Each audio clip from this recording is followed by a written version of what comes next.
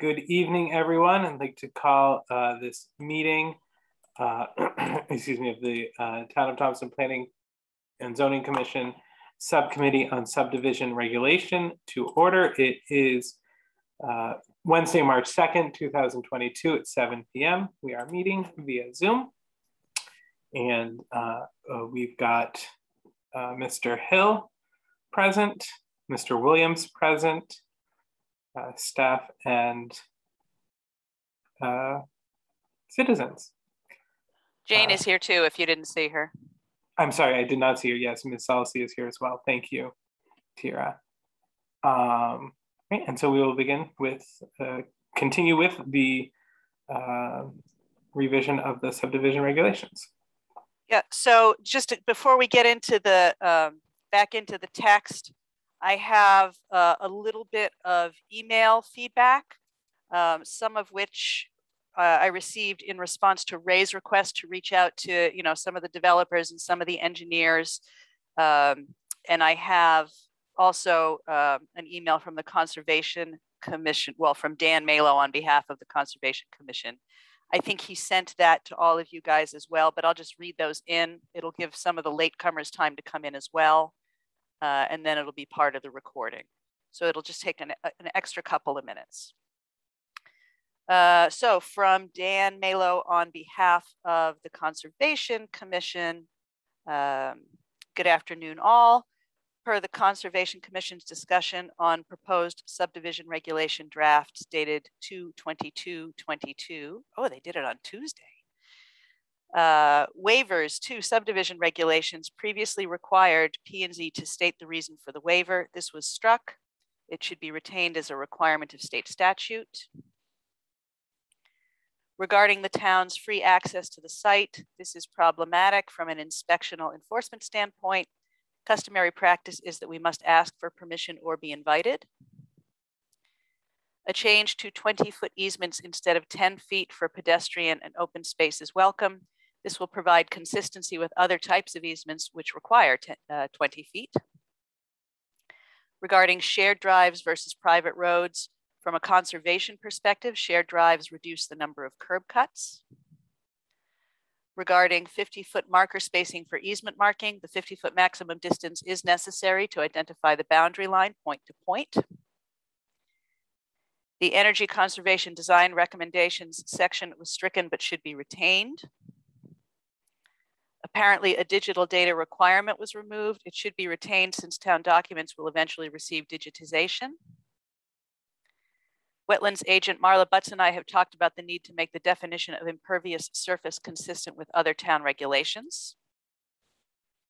And the town is also undergoing a reorganization, renumbering of its codes, ordinances, and regulations. How will this document be affected? All the best, Dan Malo, Conservation Agent. Um, and also it, just for clarity, all of these comments that I've received when we get back to that stage where we're moving to discussion memos for the whole commission, uh, I will include everything that I've received via email up to that point, um, as we did with the zoning regulations. So this will all be repeated later uh, in written form for the full commission. Okay, this one came from Daniel Blanchette of J&D Civil Engineers. Uh, where are we here?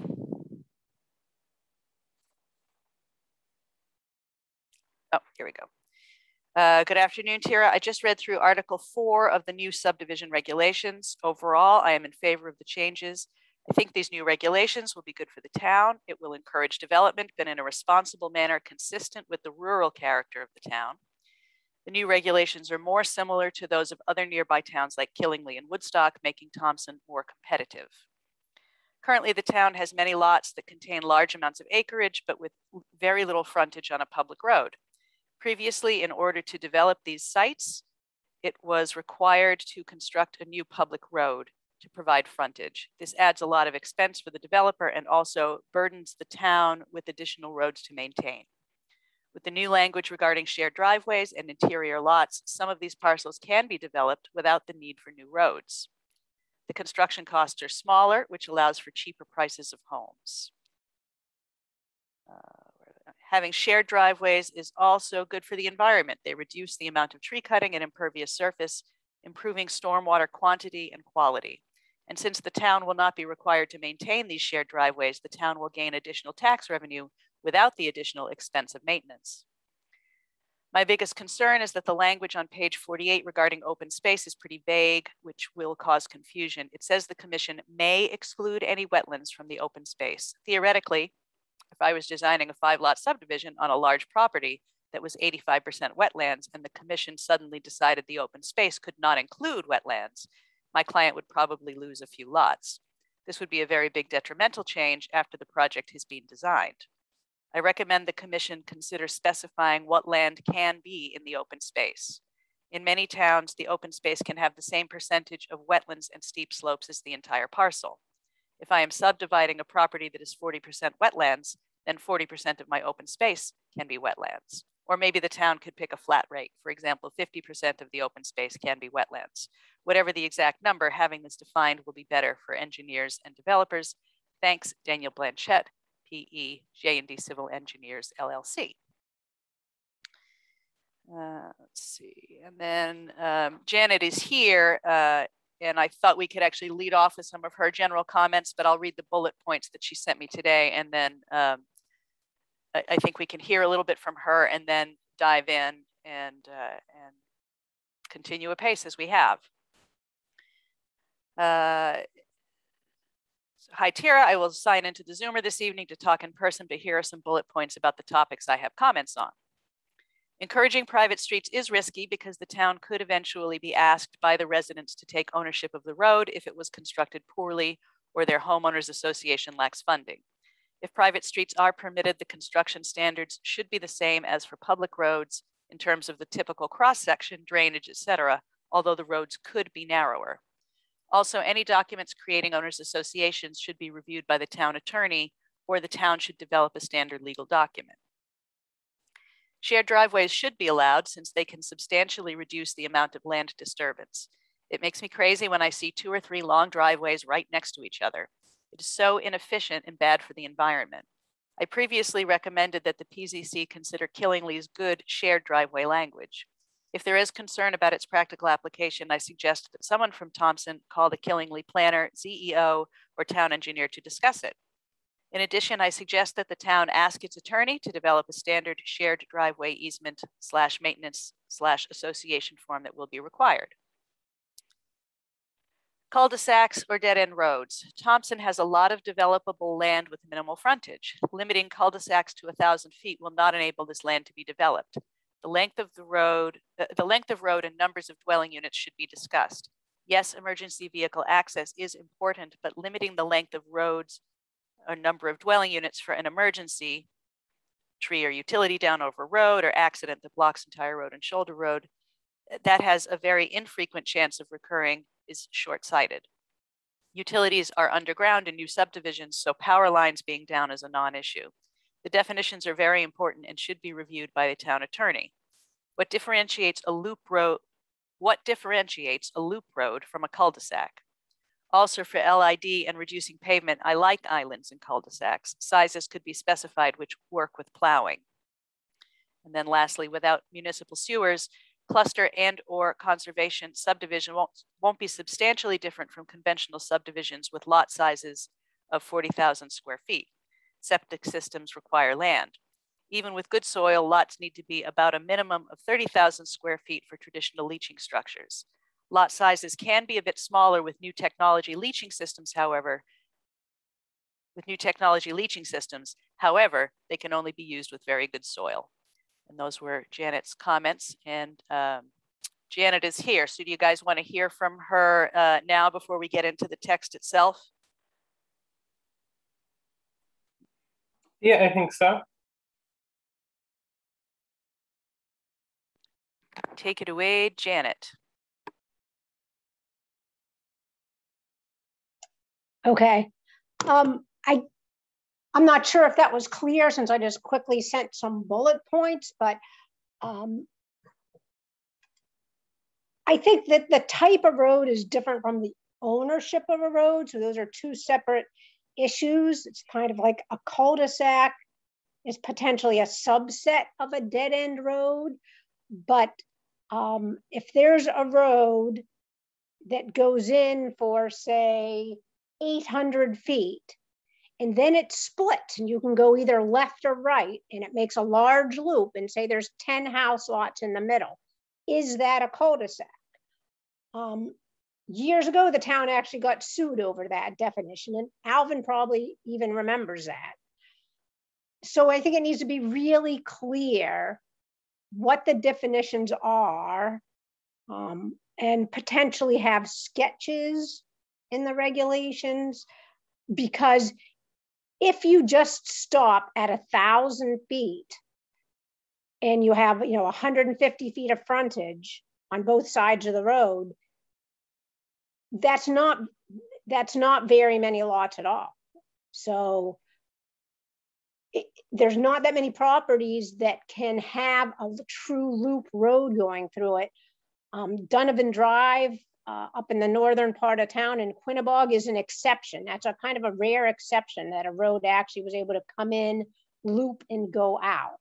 Most of our larger properties uh, or many of the larger properties in Thompson, you would not be able to do that. So if you want to get to the interior, um, going more than a thousand feet, I, I would recommend that. I think that the thousand foot limit was initially put in for the thought of emergency vehicles because they don't want a lot of people stranded back there.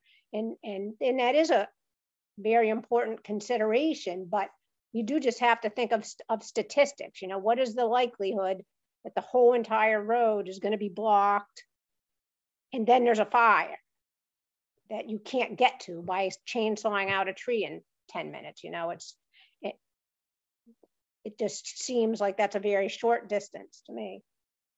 And, and in fact, Tyra forwarded a PDF on some green standards uh, I forget what, I, I'm sorry, I forget the exact name, but just an example of conservation subdivisions that were being promoted in Pennsylvania. And if you look at those examples of good environmentally friendly ways to develop land, they absolutely go much further in than, than a thousand feet. And they'll have um, 30, 40, 50 houses, um, whether it's be a traditional cul-de-sac with a you know a closed bulb end or whether it be a loop configuration you know a lollipop type. Thanks janet. You're welcome. Did anybody have any questions on any of that for janet before we dive in? No Tia, is that the um the the you had sent us a bunch of resources on friday. That's the first one you had sent us. Is that right? That it, it, it is, and I was just trying to pull it up to to screen share that briefly because I just think the illustration is so great. Um, just bear with me, and I'll see if I can pull it up here. It was behaving strangely when I tried to share it. Let's try that again. There we go. This time I think it'll, you guys see that? So those are some different configurations, but um, what Janet was referring to was this. So this is an example of a conservation subdi subdivision design that has a lot of open space set aside.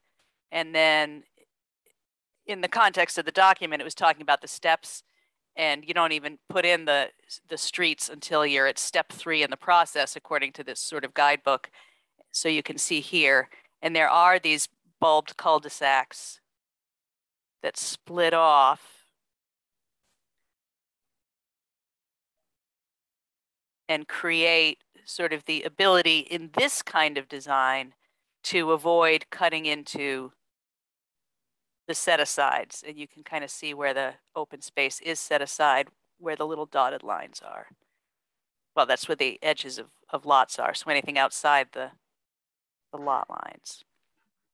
So I just thought that was super interesting. Um, now, Janet, you said you were going to hang out tonight and um, be available for comment on some of this because we are getting into the driveway stuff. Yeah, yes, I'll stay on for the whole meeting.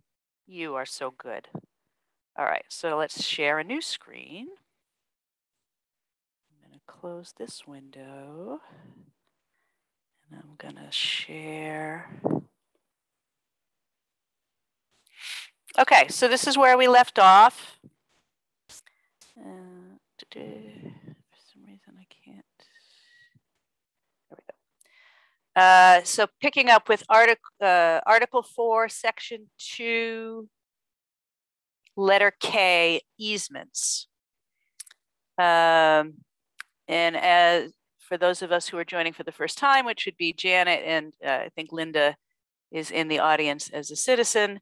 Uh, we're just going from where we have comments because we've already been through this in a first uh, a first round go through.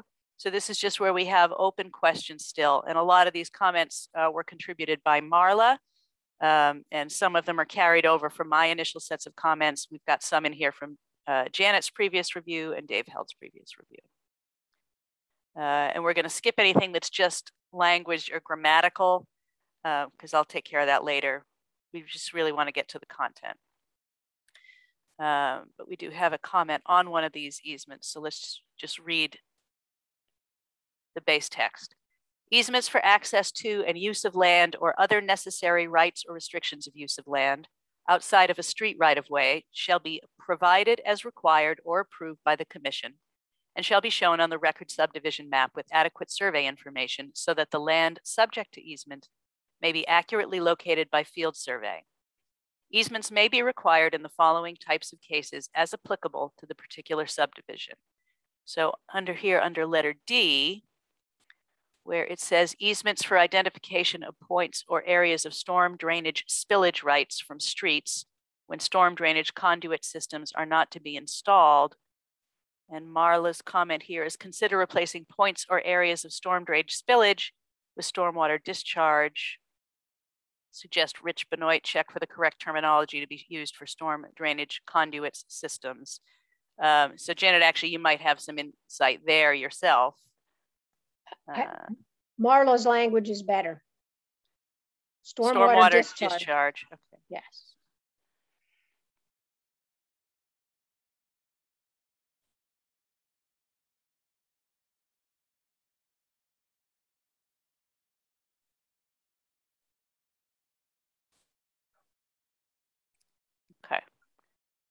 So now here's uh, G, the easements for pedestrian cycling or equestrian paths to open spaces, parks, playground, schools, yada, yada, yada. Such easements shall be not less than 20 feet wide. Uh, Marla had a question, was 10 feet not enough, which was, I believe, what the prior um, language indicated. And as, uh, as I just read in the response from the Conservation Commission, they are in favor of the easements being not less than 20 feet wide to make them um, consistent with other types of easements described. Um, do we have any other thoughts on that?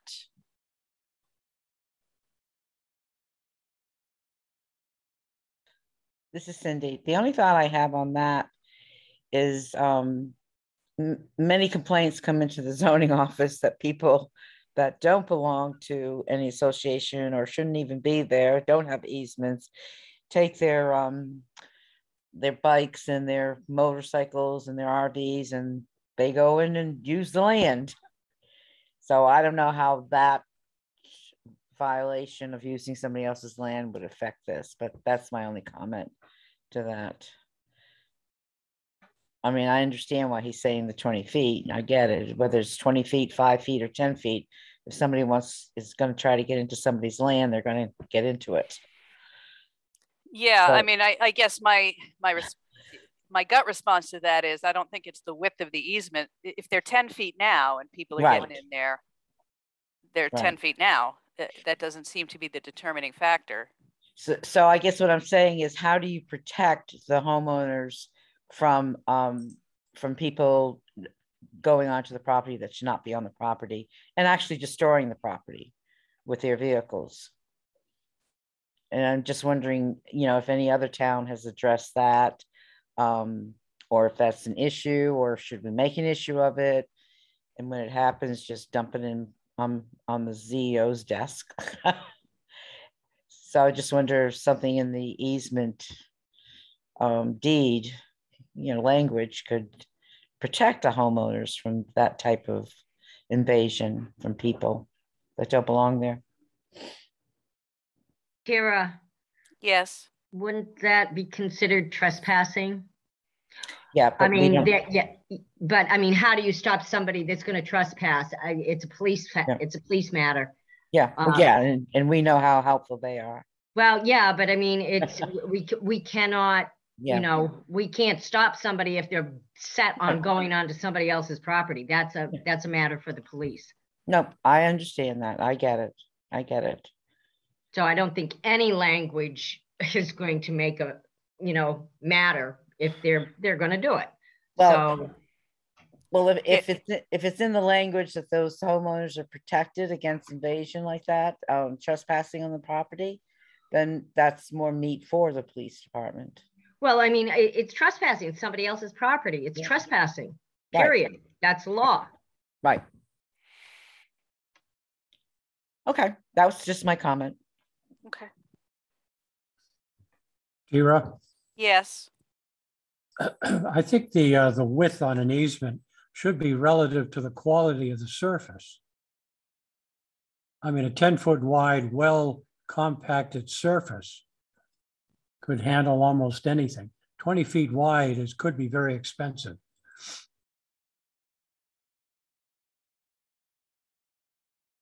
I mean, nowhere in, in easements do we describe the quality of the surface could be muddy. I mean, there's a lot of things to consider. right, right. And these are obviously various types of easements that are discussed in, in these letters. Uh, and each of them might have different requirements, some of which I believe are addressed in other areas, like stuff in the section where um, uh, uh, stormwater management, I, I, you know, that gets into quite a bit of dimensional detail, as I recall. So we may find that that is in there. Um, although it does reference it up here too. Easements for use and access to stormwater basins and fire ponds, such easements shall be not less than twenty feet wide. That should not be capitalized. Um, we're describing, we're describing for pedestrian, walking, cycling, horse, equestrians. Again, it comes down to surface quality. so you, you mean just in ca- in the case of this letter, the surface quality? I see, I see what you're saying. Uh, Why not set a minimum to a max? Why not a, say a minimum of twelve feet to a maximum of twenty foot wide? And let the developer determine that depending on the quality of the, of the soil.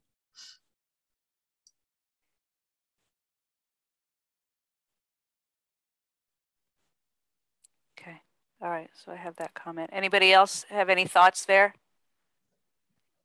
I would agree with that, uh, Alvin on that, because twenty feet is kind of wide for, um, an easement for a pedestrian or cycling. Even, uh, for horses even, you know, that. Um, That's pretty that- wide. That, that's, that's real wide. And if we set a minimum to a maximum, the plan itself before the commission, Yeah, I, I agree with con- you on that, Alvin.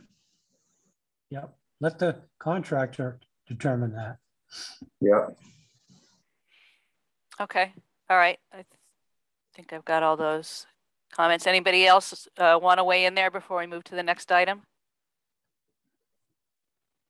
Yeah, I would just say I, I um, I'm I'm interested by Alvin's relation of, to the width and the and the quality of the surface. I think that's a an interesting point. Let's go- Let's see what's next. That's just a language thing. I'm not concerned about that one. All right, let's talk about driveways. Okay. Uh, just before, just before that, uh, Tyra, Yep. uh, back up just above two easements called J easements for pipe systems. J right there. Yep. What are we talking about? Uh, well, it's just, it's just one of this list of easements, of types of easements that could be considered, right? So let's go back and read the top. Easements may be required in the following types of cases as applicable to the particular subdivision. And this, it's just literally a list of types of easements. Uh, in some cases, they include descriptions that the easements shall be not less than twenty feet wide or twenty-five feet in the case of uh, letter E. But it's just identifying where one might see an easement on a plan and what the purpose of that easement might be. It doesn't See, appear to I- have, my- yeah, go ahead. Those don't bother me. What, what I'm concerned about, pipe systems, what type of a pipe system? Oh, I Conduit, see. we- I see what you're saying. Pipe systems, I mean, what, what are we talking about? If we could identify pipe systems, that would I- make more sense to me. It That, that could be water, if you had Connecticut water coming into a subdivision, it could be gas. Yep.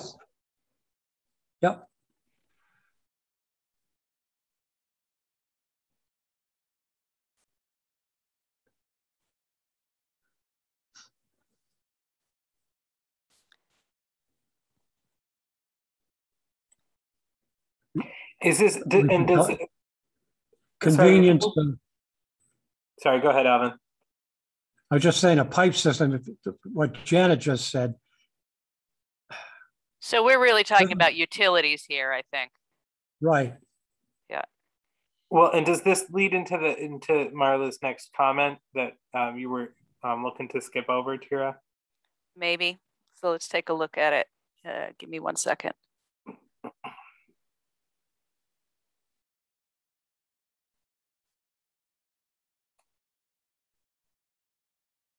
Uh, doo-doo-doo.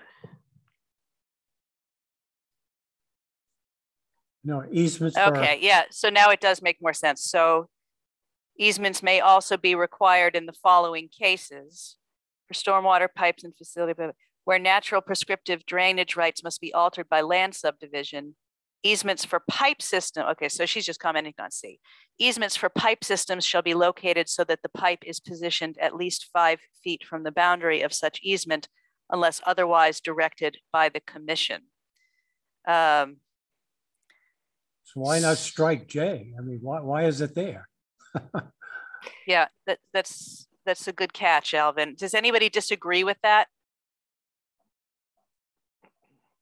So we would strike J and uh, add for pipe systems in the text of two. That is what I am taking from Alvin's comment, yes. Yeah, easements for pipe systems may also be required in the following cases.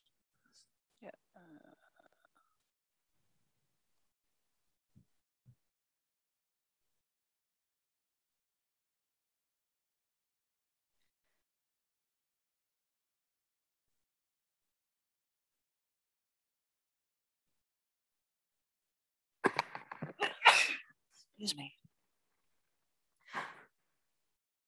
Sneeze again. No, I don't. This is what I ha- get for having six cats and being allergic to cats. I sneeze constantly in my house. Okay. Easements for pipe systems may also be required in the following cases. So we strike that and then, so let's read Just that. get rid of J. Yeah. So the question is, is let is number and, and I know this is like nitpicky outline stuff, which we generally say we're not going to go into, but is number two actually letter J? And underneath letter J, we have Roman numerals one, two, and three to describe the specific conditions for pipe systems. Yes. Dr. It seems Per- to make sense, seems to make sense to me. Okay, so I'm gonna change this note then. Better to strike. Why would you do Roman one, numerals? Why don't you just leave it A, B, and C? Because it, it's the same, it, because once that becomes letter J, it has to be, it has to be a different, Oh, oh, you're gonna leave that as letter, number two is letter J. yes, yeah, it becomes a different, a different outline level. Yeah, okay, no, I'm fine. No, I- I understand that Yeah, now. that makes sense.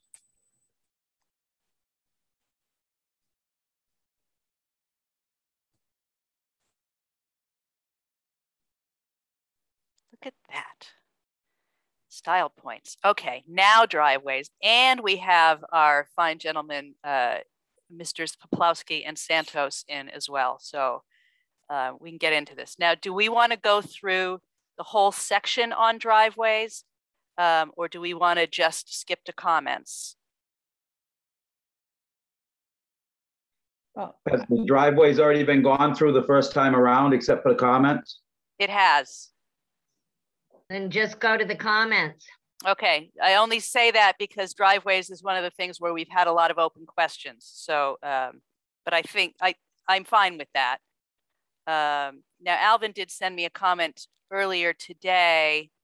Um, and again, we're talking about driveways here. All driveways over 150 feet long shall have a turnaround on the lot capable of handling an SU 30 vehicle and located not less than 10 feet from property lines in residential areas. Alvin suggests adding in parentheses, for example, a conventional school bus as a reference point. Um, I just made the counterpoint that a school bus is unlikely to actually enter a private driveway. So maybe the reference should be to a type of emergency vehicle, but what's the equivalent? I don't actually know what an SU-30, is that about the size of a, of a school bus? Oh, and you look up the, as I did, what is, I have, what's an SU thirty vehicle? And it said it's conventional school bus. That was the definition. Interesting, It's probably Uh, length and height. That could be a fire truck. yeah. It, it's sta- SU stands for single unit and it's single typically a, a box truck, Box truck, yeah. a single Aha. unit box truck, like a furniture delivery truck. Or like a FedEx truck. Yeah, I was just gonna say like a FedEx truck.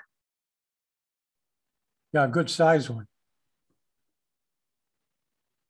Yeah, like the box, box FedEx truck, not the vans.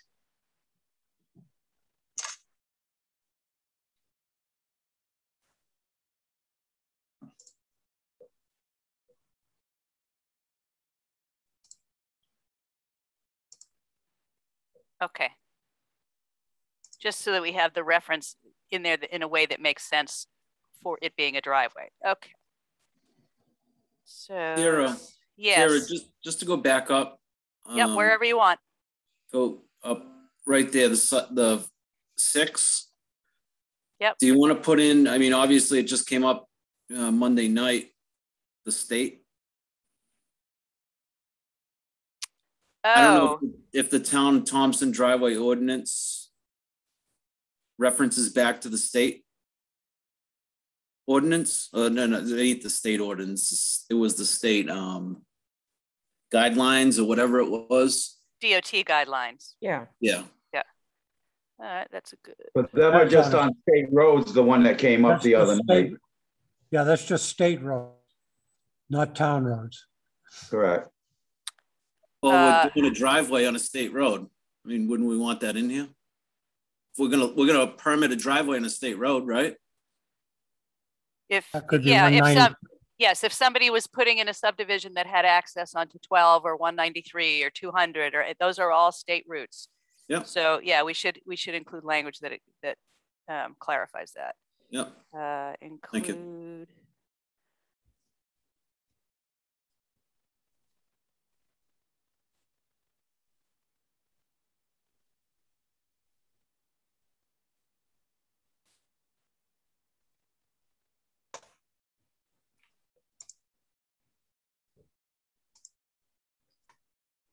Good catch. All right, and I'll, Yeah.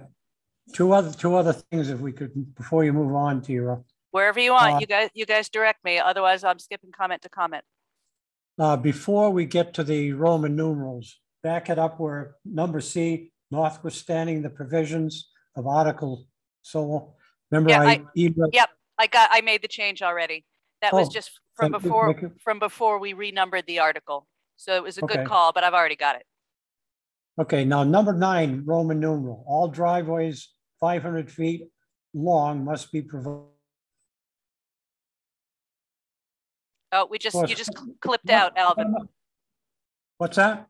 You just clipped out. We didn't catch most of that, or I didn't, anyway. Okay, Roman numeral number nine, all Yep. driveways over five hundred feet long. Okay, at the end of emergency vehicles, and I mean, this is just me talking, quite honestly. I like any, because of the snow condition in New England, hmm a driveway over five hundred feet, they're gonna be pushing that out somewhere onto the road.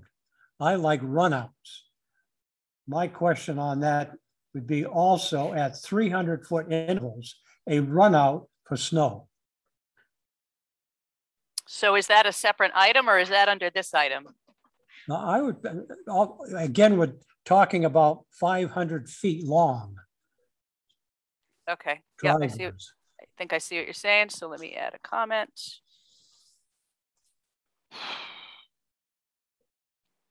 Uh. I mean, the run runout could be even ten, or- a runout of ten to twelve feet would pack a lot of snow.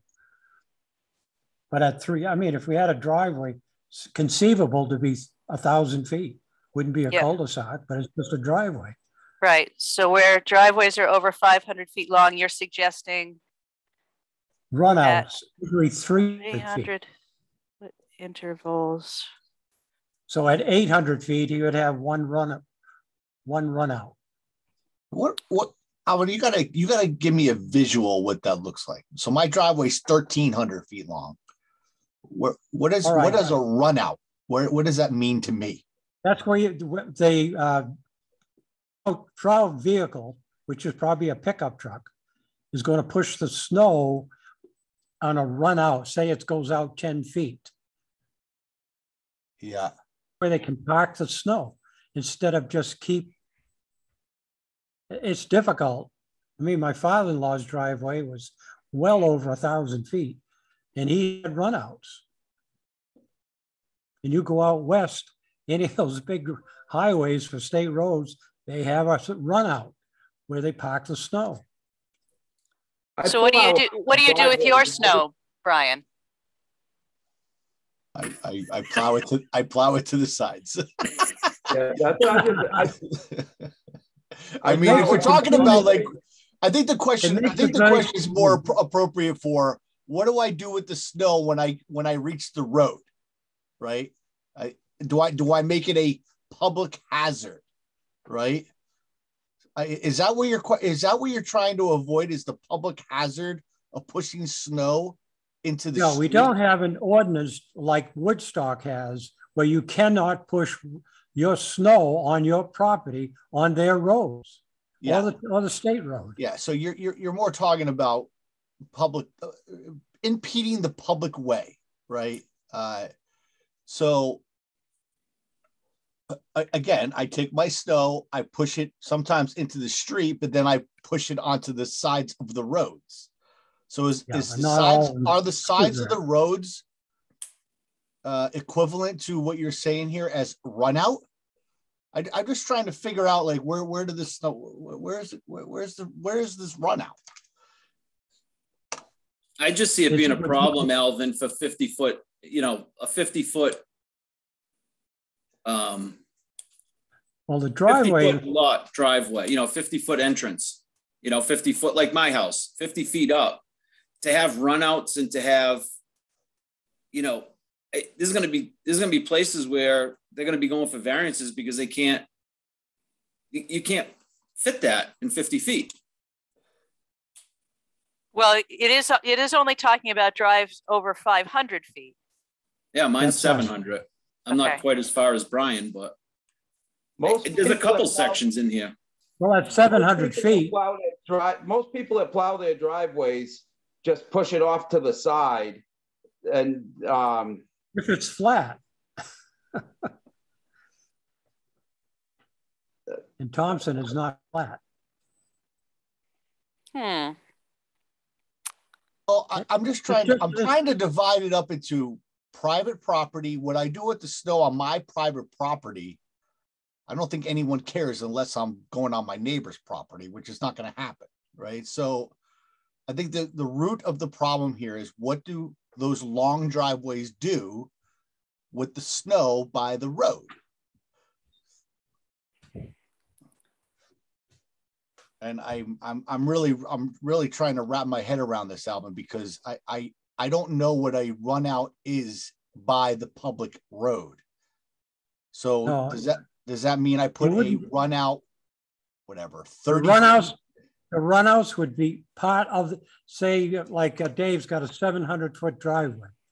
Well, my thought is after five hundred feet, every three hundred feet. So he wouldn't even be concerned with putting a run out.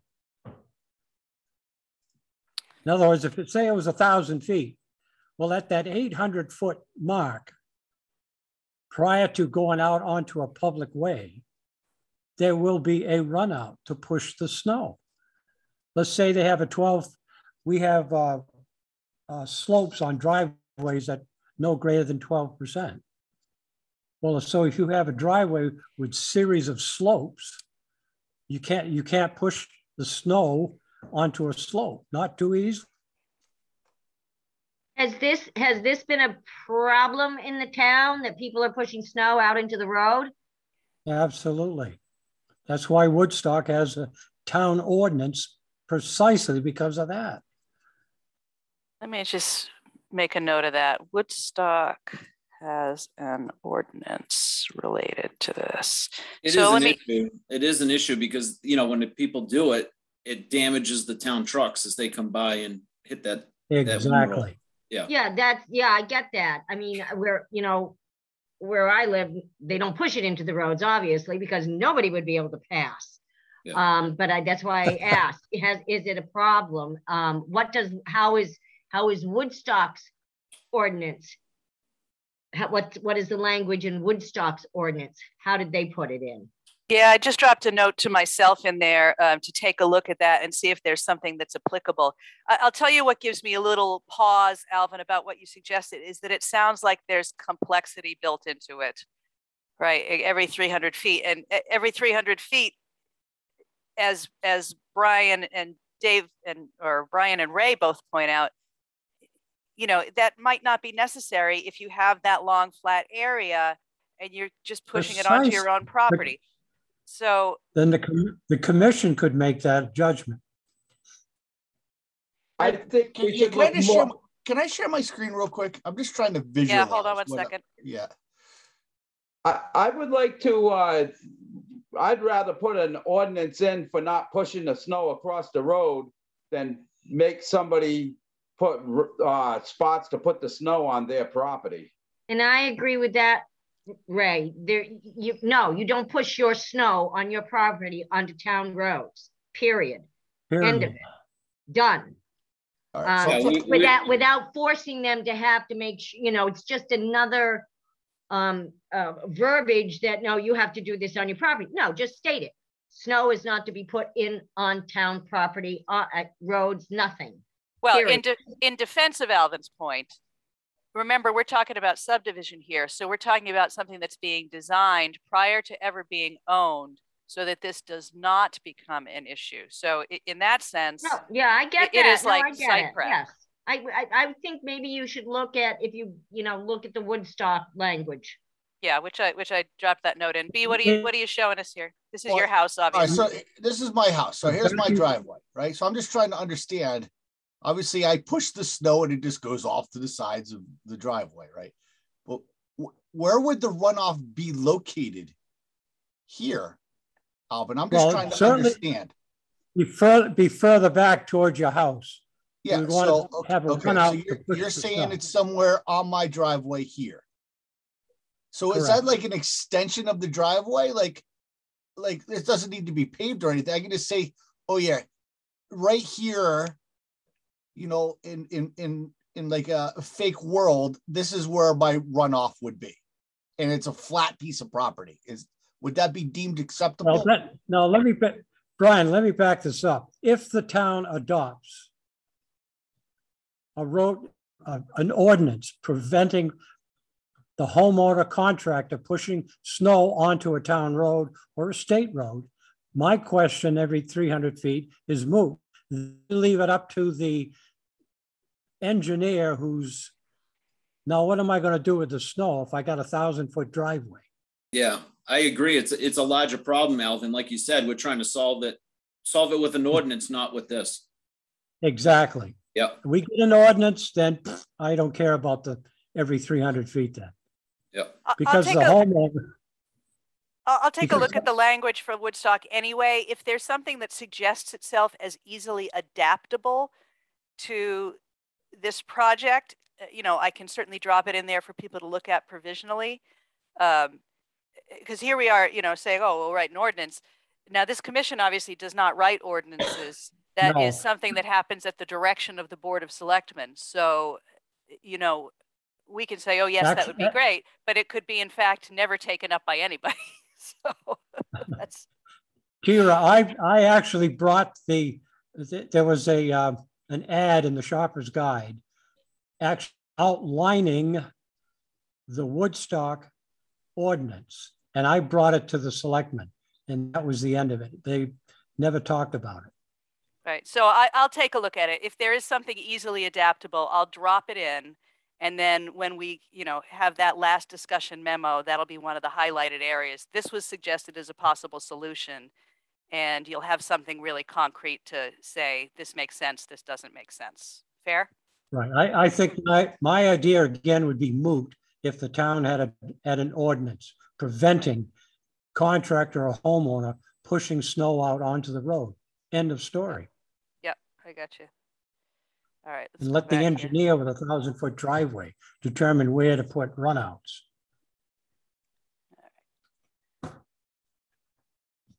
I think we. Tyra, the- Yeah, go ahead. when I look at nine, you know, Mhm. it, it, I just struggle with this as a private drive or a shared drive. You know, a driveway, a, a homeowner is going to come in with a driveway over 500 feet for one, one home. And now they need a bypass area turnout for that one home. I, I can see it in, in, like I said, a shared, uh, uh, uh, in some, some applications, yes, but on a single family home to ask the homeowner to put a turnaround, turnout, it just seems excessive. I agree with Dave on that. Well, so do I, Dave. I agree with you. But again, if the town had an ordinance, what I just said about pushing snow out on the, it's a move. Let Oh, the no. engineer, let This the engineer who's designing the thousand foot. Alvin, it's two separate things. I, I, yeah, I understand that, but this is for, for vehicles to be able, service and emergency vehicles to be able to pass on your own driveway. Yeah, the, Dave's talking about the turnout area now, Nine. Alvin. Oh, okay. Yeah. I, I agree. Yep. I, I just, snow. I, I struggle with that whole, that whole thing. I, and I, I'm not trying to create more work where we break it now down into another subsection. I, I don't think it needs that, but I think that it needs clearer definition for wh- what's applicable.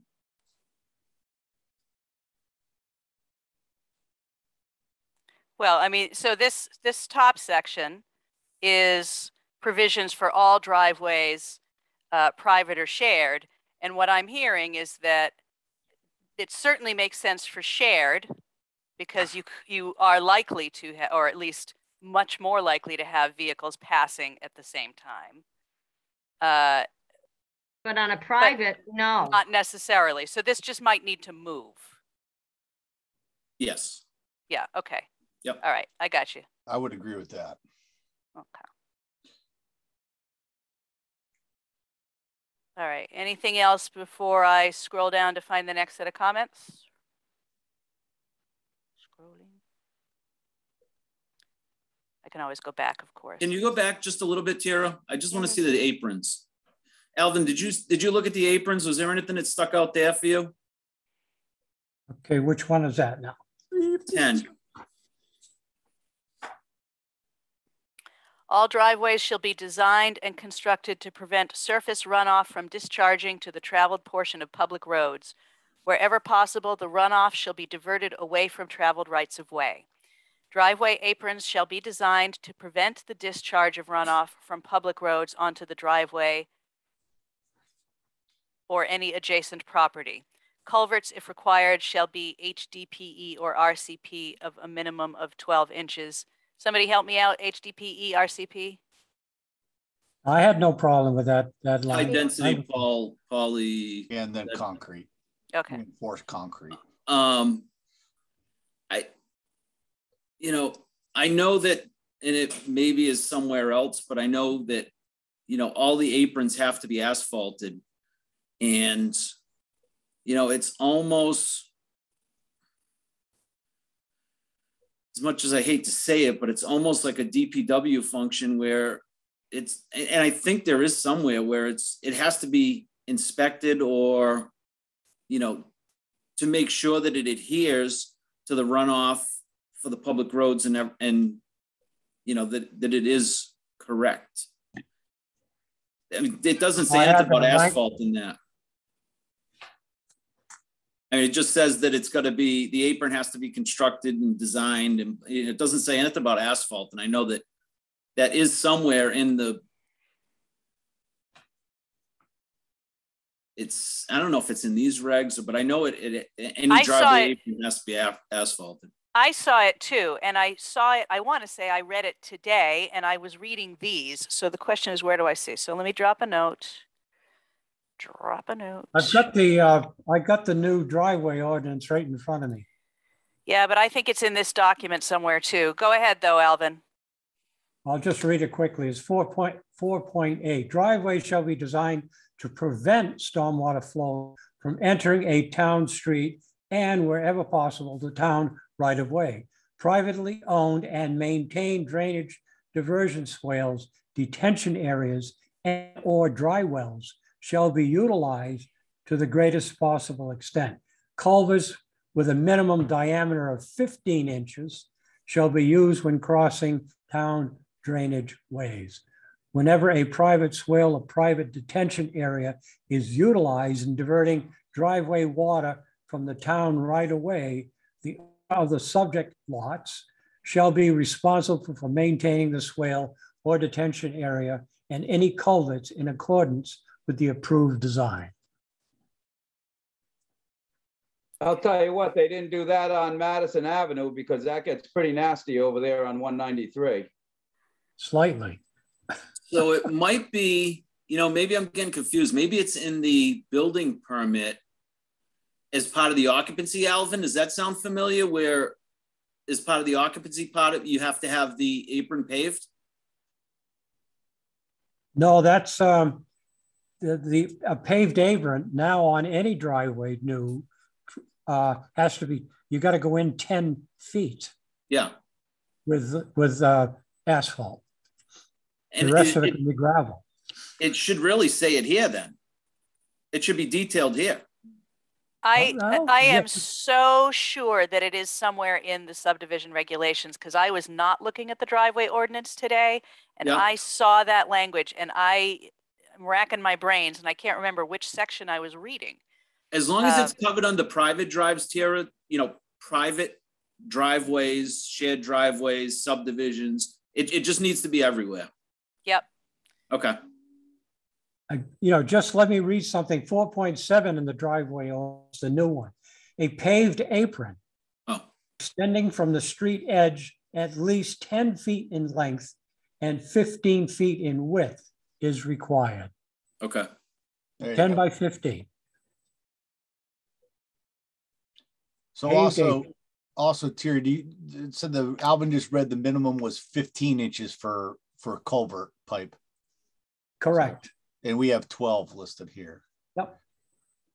Yeah, the, it, we, that- that's why I'm bringing this up. I mean, it should be 15 Uh, inches, not So driveway ordinance. Oops. 4.8 mentions 15 inches. That's uh, section four standards, 4.8.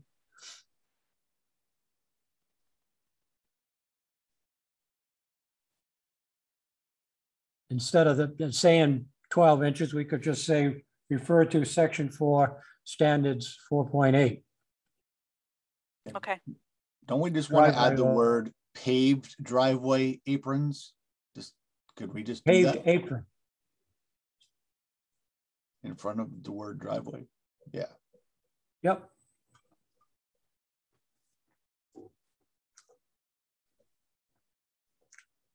Okay. Moving on, or we have more here? If, if you list it like that though, doesn't it leave it open to, it can be paved if, you know, if it's paved, it has to be designed to prevent discharge. What if I just want to leave it dirt? Or if it refers back to the ordinance? Yeah, I don't think you can do that. You have to pave it, right? Yeah. You, it's part you of the have to, ordinance. you Yeah, have to pave the apron. You don't have to pave the rest of your driveway. yeah, okay. Yep. I'm good. I- I'm just gonna, I'm just gonna make a, a note here about number nine again with the shared driveways. Yep. I mean, if, if we're saying that you gotta reasonably be, have a width for passing a standing vehicle for emergency, I mean, what, how wide is that road going to be? That driveway, that shared driveway? I mean, what's minimum? Twelve feet? That thing's gonna be twenty-four feet wide? Hey, Janet, can, do you have any in- input there? Because, uh, uh, I- I don't have, I believe the shared driveway that you have, you have is sixteen feet wide if you have a shared driveway. So it's eight feet is, is considered passable, so eight feet and eight feet? No, road? yes, well, I mean, that's, would work for vehicles going like two miles an hour. So yes, you Yeah, sure. could pass at a very slow pace, Yeah, delivery vehicle or somebody coming in and out. That's like a, a very minimum. yeah, a- a- and it is a driveway, so you should in fact be going at a minimum speed, right? one would hope, Right. And, and but you know how I Typically, feel about shared is- driveways. typically there is a little bit of a shoulder, even if it's only one or two feet. Okay, yep. Thank you. So what did, what did you just say that requirement generally is? Sixteen feet? Yes, I, I believe you have that further on in your section two. No, the, the next page, the next page over. C mentions uh, the width for a shared Yes, portion of the driveway shall be a minimum of 16 feet in width. Okay, so we just haven't seen it yet in this, Okay, Haven't in this it. review. Okay. very good, thank you. but before we move on, sorry, I do want to, I, um, I agree with what Dave said about in ten, that I, can we, can we wo- wo- word it, driveway apron, aprons shall be paved and designed to? Because it does seem like paved is a qualifier, not a requirement. That is true. Uh, so driveway aprons shall be paved and That's fine, yep, that's good. what else did you say though, Joe? And then just continue on, designed to prevent, blah, blah, blah, blah, blah. Oh, okay. To, to, blah, blah, blah. Yeah. Gotcha. Gotcha, gotcha. Here too, I think a lot of reference to driveways. We should make a point somewhere to look at the town's ordinance for driveways. Like we Yeah. got 12 inches here and 15 in the driveway ordinance. Do comparison for consistency to driveway ordinance throughout. Got it. A- Anything Instead of else on us this? making- Anything else on this page, guys? Is it all right if Um, I just share one overall comment for driveways? Please do. That's why we asked you in. Um, I, I think there is further on in the shared driveways, a statement that says all shared driveways with access slopes of ten percent or greater shall be paved to a minimum width of six, a minimum, let's just say, shall be paved with bituminous concrete or an equivalent material. I, I think that should be true for all driveways. Any driveway that's greater than ten percent should be paved, otherwise it, it, it's a continuous erosion problem. Okay, so this is letter E, and you're saying that this, just like we moved something, we're gonna move something down from the, from the all into the just shared, that this should actually be a condition for all. That, that would be my suggestion and that would, that's what most other towns have. Gotcha. Where's that? Where are we? Killingly has it, Plainfield has it, you know, I'm not hundred percent sure of Woodstock. but driveways in excess of ten percent are required to be paved because of erosion problems and heavy rainstorms. Yeah, and I I think that, that erosion risk Makes is a good to me. Janet, thank you. Yeah, makes sense. But to, to me, it- I, I don't like paved driveways. I'm just, especially on a slope. When the hell all that water goes. Whew. And a lot of it can be corrected with, uh, I mean, you buy these uh, uh, poly plastic, if you will, four inch up to six inch gutters you can actually put in a uh, uh, a driveway to take the water and just prevent it from cascading down in a, uh, a gravel driveway. The slope on a tar driveway too, when you, you don't have no control going down that with a pickup truck with a plow on it. Um, Exactly. At least gravel, you've got something, if- even, even Yeah. with ice, if it's broken up, you've got some kind of traction. I plow a couple driveways on Fabyan Road that are tarred are going up them hills and I'd much rather do them if they were gravel. Yep. Water can be, as there are, and there are systems out there to prevent serious water erosion in, in uh, gravel driveways.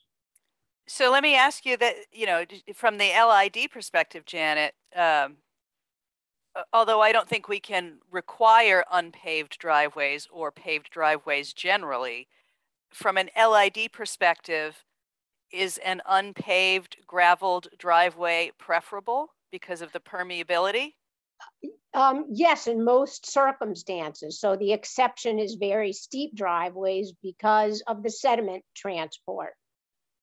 I mean, we, we, we've all seen it in a heavy rain. You drive past the toe of a gravel driveway and all the gravel is spilled out. Well, where does that go? Into the catch basins, into the culverts, into the rivers and streams. So, So related to that, although I, I think we cannot require uh, either unpaved or paved be part of the design, do we express a preference in this section? Because we can, we can express a preference. but, but that doesn't really hold any power because it's just at the time of the subdivision. Once an individual property owner owns a lot, they're gonna do whatever they want with their driveway for surface treatment. That's a good point. Yeah, Yeah. okay, so, so we'll leave it lie. Um, although I have some thoughts on language about preference, which if we have enough time, I, I want to get to at the end, but uh, any, anything else on these items eleven through fourteen under the provisions for private or shared driveways? Y- Yes, I, I I do have- have a question though, Tara. Why would single driveways and be put in with the, um, subdivision regulations?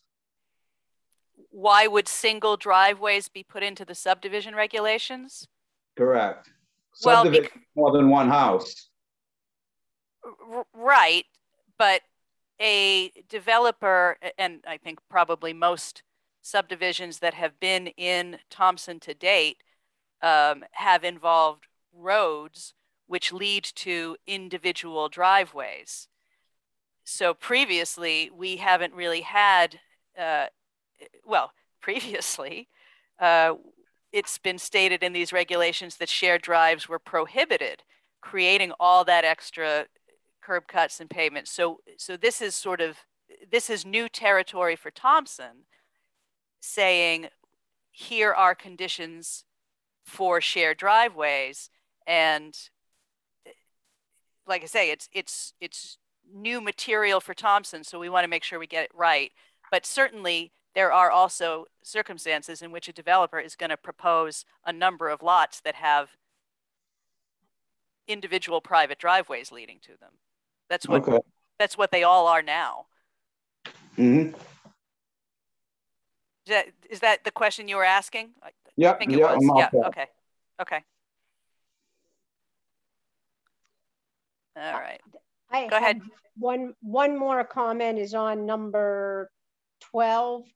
about driveway side slopes in a cut or fill section shall not exceed three to one. Um, tip, typically two to one, which would be like two H, two horizontal, colon, one V, is appropriate for sloping of driveways and road embankments. It's ConnDOT standard. And, you know, your cuts and fills will just have a smaller footprint on the land.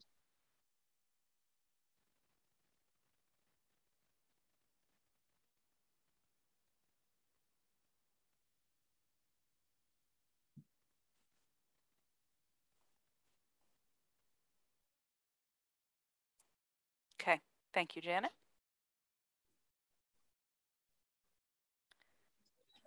Okay. Um, oh, I see a reference to cul-de-sacs. Dave, do you, are you sharpening your knives? I'm ready for you. For for uh, Ray and Jane, who are new to this, Dave and I have been teasing each other about you know our fight to the death over cul-de-sacs, which is inevitable. Um, all right, so let's see what this actually is. Where cul-de-sacs are proposed as town roads, there shall be no driveways to interior lots on the turnaround portion. Marla's comment here requires further dis- Oh no, that's her carrying my comment over actually. Requires further discussion. Rich and I agree that the town doesn't want to accept cul-de-sacs as public roads, only as private roads or shared drives. Some commissioners feel differently. We can't publish these regs without coming to a consensus everyone can accept. Now, I don't know that we have to talk about that whole concept under this item, um, but what is the logic here? And my my recollection is that this is something I carried over from the existing subdivision regulations with the no driveways to interior lots on the turnaround portion. Um, so I can't say that I had an overarching logic for the item itself. My logic was in the um, stipulation for when they are proposed as town roads. Uh, because if we're if we do ultimately agree that they should not be publicly accepted, this doesn't really. Uh, uh the language would have to at least change drastically um, if not get eliminated altogether. So I, I open the floor to comment. So I, I have a question um, on this. McCullough proposed as town roads, there should be no driveways to interior lots in the turnaround portion. Now cul-de-sacs have entrances, entrances into the driveway to the house, right? Am I, am I right or wrong? Cul-de-sacs have, en- well, according to this, no, they don't. Well, Um, and like I, and like I say, that's, that uh, I'm pretty sure is a carryover from, uh, a mild adaptation from the current language. I will say that on a number of the cul-de-sacs that we've looked at, when people have come in, it does seem that where the open space has been set aside, it's been set aside in the bulb. Uh, possibly because of this stipulation in the previous edition or the current edition. Um, so I cannot say that I am totally clear on what the logic is of that. All right, so, so, so, but Madison Ave has cul-de-sacs and there's driveways coming off the cul-de-sacs. So what is the difference between a driveway, the house is right there, and then a driveway for an interior lot? That's my question. Yeah, that was yeah, that was my question too, Cindy. So I was trying to think through it. Is it the concern about then the number of driveways in that area? Yeah, I I'm not getting that. Um, of course, we're allowing only five shared driveways, so I. We are proposing no more than five units can share a driveway. That is correct. But a cul-de-sac wouldn't be considered a driveway, would it? Well, you could propose a shared driveway that took the form of a cul-de-sac if it served five lots or fewer.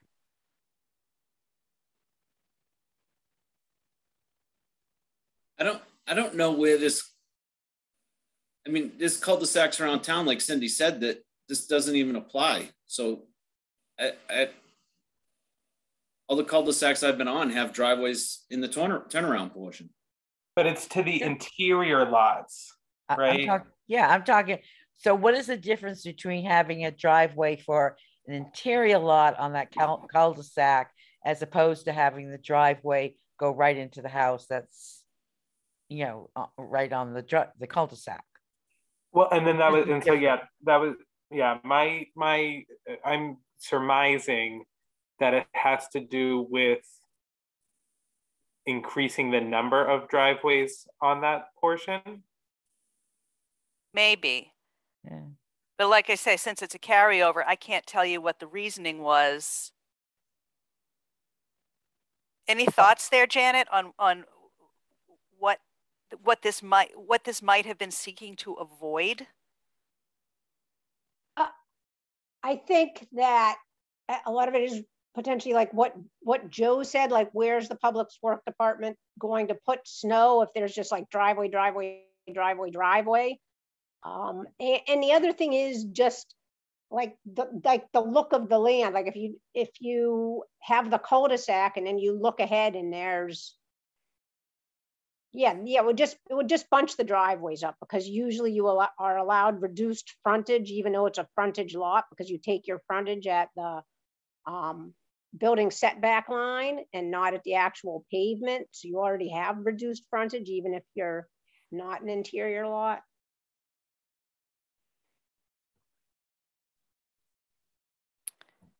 So how do people feel about this provision or stipulation, this stipulation? Does the logic of reducing the number of driveways configured on the bulb hold up? And this is assuming that it's a town accepted road that the town is plowing now. Um,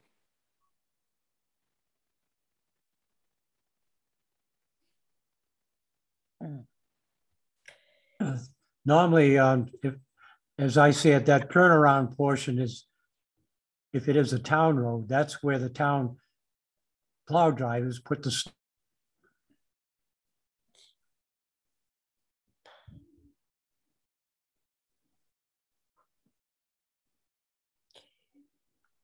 But you're, you're, and you're discouraging public roads. So if that is, so I think we mentioned before that perhaps private, um, you know, the five driveways or shared driveways, they could end up in a cul-de-sac. Um, again, what's the difference? Right, Except for what Janet said, like, uh, you know, accumulation of driveways. But, but they also need, the ones in front need that hundred fifty foot frontage. So let me just see if this makes, this makes more sense, and this is assuming that we keep this provision or stipulation. Where have a que- go ahead. if somebody buys, you know, there's a subdivision and there's a big piece of property on where the, on the, the bulb. And, you know, if they buy a piece that's ten acres that's on the end of that bulb and they want to put a house in the middle, they should be able to put a, you know, uh, driveway out to where they want to put their house on the, on the interior. Uh, My opinion, anyway. They shouldn't have to build right on, on the bulb if they, if they bought a big enough piece of property. Right. Hmm. But it's not a, it's not preventing a long driveway. It's preventing a driveway to an interior lot, meaning a lot stacked behind somebody else's. So let's say that you had Right a, a Yeah, five, a, understand. five acre property that happened to front onto the bulb. You could still have your driveway. It doesn't matter how long you make it, but nobody else can put a driveway adjacent to yours that goes behind your lot if they're on that. And that would be the clustering of drives. I, I, I think whoever suggested it might be onto something as to what it is that they're trying to avoid here. So it's not saying no driveways on the turnaround portion, it's saying no driveways to flag lots. Right, but you only need fifty feet for, uh, for flag lot frontage. Right, so that would be the, that would be the crowding aspect. Hmm. Right, if everybody else needs hundred feet, and you've got to space the, the lot frontage lines out a minimum of hundred feet, except for, you know, somebody wants to put a flag lot in, and now you've got the fifty feet foot strip, that's the clustering.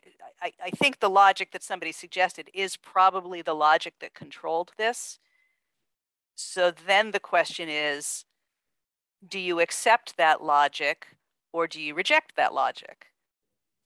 But Because you could have a shared driveway, driveway with somebody that goes in a little bit and then they could give a right of way to somebody behind. So, you know, that, that turn their driveway into a shared driveway. Right. one, six, three hundred, I think that just hit the nail on the head because this, this would prevent you from having one house on an interior lot. But under your new uh, section of shared driveways, houses on shared driveways are never considered interior. So if this provision is in, you, you couldn't have one house, but you could have five houses. you lost me, Janet. It- it- It says lots that have access to a shared driveway are not interior lots, correct? Right, Right, right, which So is why we have a wanted to limit to five so that it doesn't so go if- on endlessly. So if you have a 50 foot strip and it goes to an interior lot, that's not allowed. But if you have a 50 foot strip in which there's a shared driveway that goes to five lots, that is allowed. whoa, So you could put a fifty foot, you could put five more houses in that interior lot on that shared driveway. Theoretically, That's correct because they're not defined as interior. Correct. Yeah, that, that's what I was trying to point out. okay, I think we have a certain percentage too. You, not every shared uh, driveway would say five lots on it. Maybe only one of those five can have, or maybe two can have a, sh- you know, a shared driveway on that. okay, so cul-de-sac. is, so is the simple solution to this, and maybe I'm oversimplifying, uh, just that there be, sh- there shall be no more than X number of driveways, regardless of whether they're interior lots or not, on the turnaround. on the cul-de-sac, Yeah, on the bulb. yeah. Well, you, you don't have maximum dimensions of your bulb or minimum. So, I mean, you might have minimum, but not maximum. So somebody could propose a large bulb to get more frontage. And then if you, so you, so you can't have a fixed number of driveways. Gotcha. So I'm just gonna drop this here. So what did you say again, Janet? I'm sorry, I didn't understand what you just said. if if you have a cul-de-sac um, that's hundred feet in diameter, then you have a certain amount of driveways. Well, what if if your cul-de-sac is hundred and fifty feet in diameter? Shouldn't you be allowed to have more driveways because you have a bigger cul-de-sac? That you don't have any regulations saying that there's a maximum cul-de-sac. Uh, sitting. Oh, wow. min. Couldn't we, couldn't we solve this if, if it's, the snow is the issue, as it seems the snow and plowing is the issue? Can't we require a snow storage area or something that they design in? Think of my runouts now, Dave. Going back to Alvin. Yeah, per- yeah, perhaps, perhaps a run out. Alvin, I didn't hear what Alvin said. I want to laugh. What'd you say, Alvin? I was just saying that we're talking about runouts. Oh, Okay, all right. Deja vu. You know, there's- there's one more thing. We're all looking at this. We think driveway is the linear, but early in tonight's program, Tyra showed us these wonderful cul-de-sacs or, or whatever with different shapes. It don't have, doesn't have to be linear. It doesn't have to be straight, in other words. It Could be curved. And what Janet is suggestion doesn't have to be a, a a perfect circle at the end. It could be oblong. I mean, it. We ought to let contractors and designers design their own shapes. Yeah. Janet, is there, I, and you referenced, I, I didn't quite catch it. Is there a minimum in the regs that you recommended? Oh, I, I can't recall seeing it today, but there, there is, I- I believe there is one. It's just because it- you need to be able to turn around a school bus, a fire truck without having, doing three point turns. yeah. So that, that's why they end up being pretty big. You're not, you're supposed to be able to go all the way around it. I think it's hundred feet diameter. So is, oh, you made a comment. Is, was it, was your comment maximum? We have a maximum or we don't have a maximum? No, you have a minimum prop, most likely Okay. you have a minimum. Okay. Yeah, then that's the Alvin's point is, you know, let them design what they're gonna design and not, that, that's where I got nervous about the maximum. Yeah, I wouldn't suggest a maximum. No, no. Okay, I actually thought you were suggesting setting a maximum. Okay. Uh, So we are back to the idea of snow storage areas. Does that mean we think that this needs to be struck or modified, this letter G? I, it just seemed like we were trying to solve it for snow.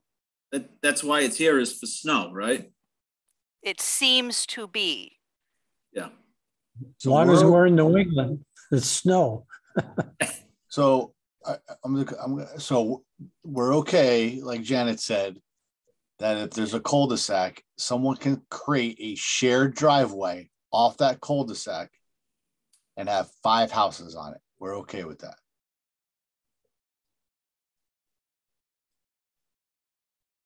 I mean, if you. I think that's Right, if overcrowding, but hey, man, You think it's you what, Brian? I think it's overcrowding. I, I, I, I, I just, I'm not in favor of that. I feel, I feel like we're, we're creating house I- stacking May- Maybe, on a cul-de-sac.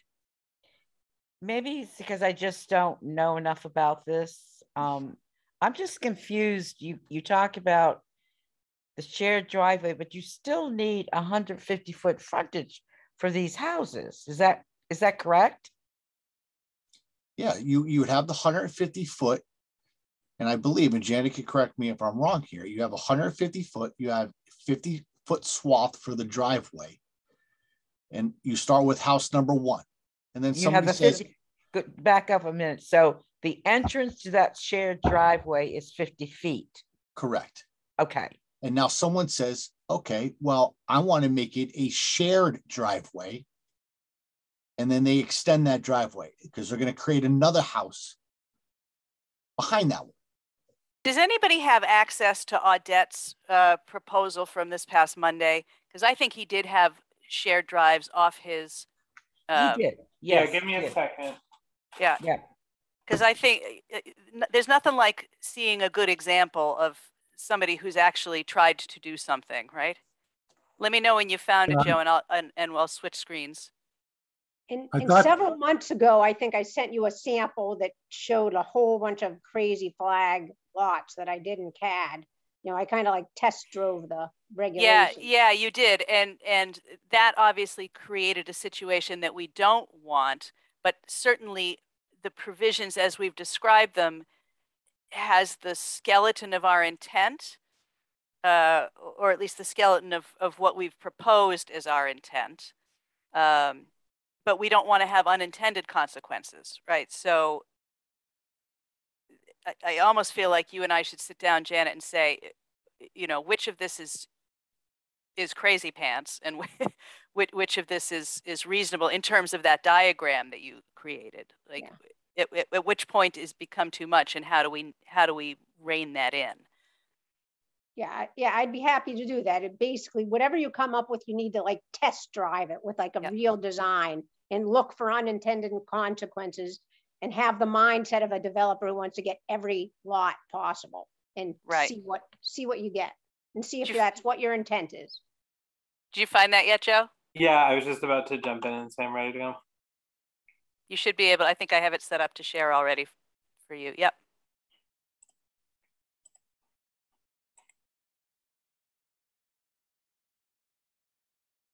Are you seeing, is this what you were talking about, yeah. Yeah.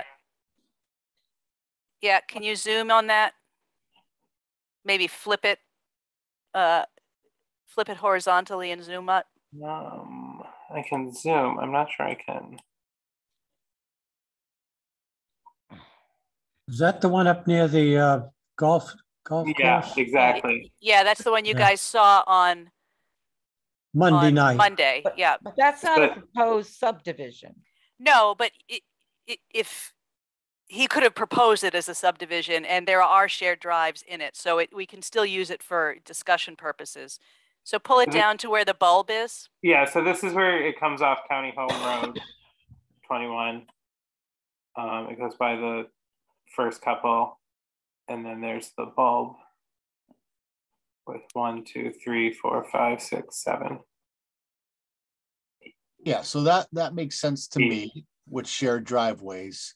So it kind of goes back to one of our previous meetings because we said that you couldn't have uh what was the word rear uh I, want to say a stacking or a house in the rear of the property, right? So this this form of shared driveway makes sense to me. I just want to make sure that we're saying it you know, verbalizing it properly in our regulations that gives a visual such as this. 'Cause I'm, So, not, I'm um, not so sure that we're there yet. yeah, so let me go back to the text. Uh, Joe, you wanna? Thank you. So how about that word, this? re- the rear, the rear word came up before in our one of our previous meetings that I was wondering. Yeah, That let's- looks like. try this. But Brian, like, so where Joe had that pulled up between nine and ten, let's say there was fifty feet. And they were able to get three or four more lots. That's what you're saying that we don't want to do. But Well, I'm I'm wondering, you know, if going with with Joe's little diagram there is, can they continue that shared driveway and create, say, two more houses, left and right, or is that considered the rear of the existing property? And it, and it, it disqualifies you from doing that. Am I making sense? I don't I don't know if I am. I'm just thinking that they'd have to come in with that because then it would be a subdivision, right? Off of that. Well, I, I think that No, was not if it's a part of the initial No. subdivision. No, no, if it's a part of the initial, yes. I don't know because now you said it's just like going back to what Janet said. I've c- I've created a shared driveway now. So according to that regulation, I'm allowed to create five or fewer homes on that shared driveway. Regardless, right? It's, I'm now creating a shared driveway. So I, I don't know. I'm just that's the way I'm thinking about it. I I could be dead wrong.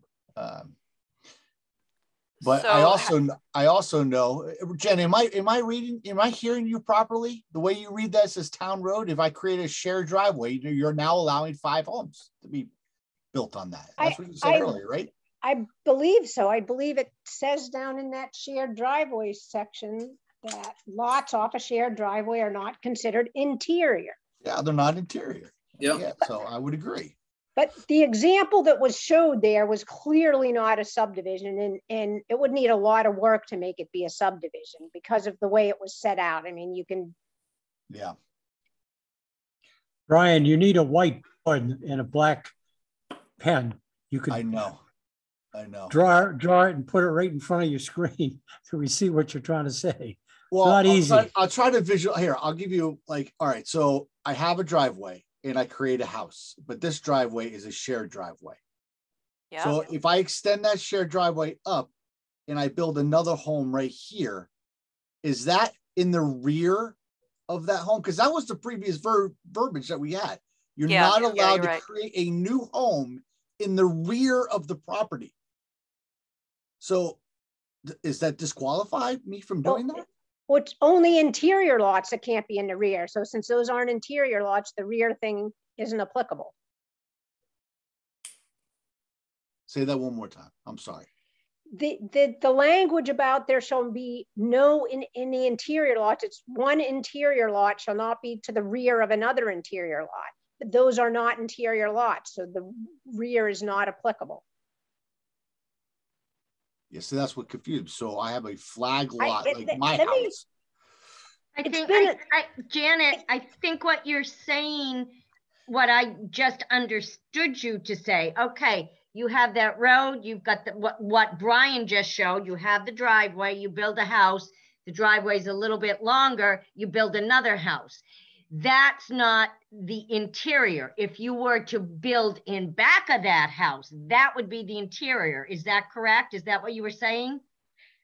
That'd be a I flag don't, lot. I- not on the driveway, but literally in back of those houses. Is that the interior? I'm just trying to understand it. Well, the definition typically of an interior lot is that it doesn't have 150 feet of frontage. It Correct, has it less 50 feet. frontage. It only Yeah. has 50 feet of frontage Yep. and, and, And and sharing a there's one, and there's one lot. But if you have shared driveways and they're not considered interior, then you could have five lots because they do have frontage. Their frontage is measured along the shared driveway. So Along the shared driveway, so you cannot- Comes off. Yeah, you can't build in back of those houses that are sharing the, that driveway. Right. I'm gonna zip up to, I'm gonna zip up to the houses. section on interior lots for one section, uh, for Yeah. one second. Uh, you guys keep talking. I just want to let you know what I'm And- and doing. I, I, I, I, I, we, I think we need another picture. I mean, Yeah, we- I'm We looking need at, visual, we need Yes, visual graphics yeah, on I'm a visual, but- I'm but- visual also. Brian, the, Brian, the way that this is, the way that that's is, it's like if you wanted to add on to your driveway and put five houses in back of your house, they wouldn't be interior lots because they would have their frontage. Yeah, off of- yeah, off the driveway. Off Got the it. drive, yeah, yeah. Yeah, I okay. understand, I understand that. I, I, I got, I got all that. And I, Okay. I'm, I am not in So- favor of that. But um, this is my vote. all right, I, It doesn't have to be linear. yeah. Okay, so this is what I was looking for, because I think maybe if we just modify this, item one under interior lots, and I'm going to be thinking this out loud, so I may backtrack on myself a couple of times. Interior lots, also known as flag lots, shall have the same minimum lot size required in the underlying district and shall meet all other requirements of the paragraphs above. The access right-of-way shall not be included in the calculation of the lot size for an interior lot.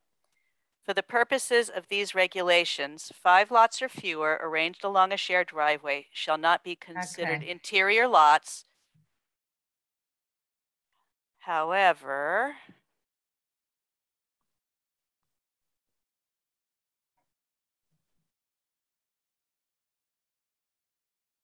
no additional